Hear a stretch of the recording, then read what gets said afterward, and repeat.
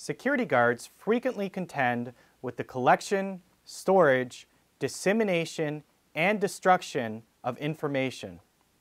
Part 1 of Legal Authorities discusses the procedures and regulations with respect to managing information and explains how to keep information secure while ensuring that it is maintained in a way that is consistent with PIPEDA.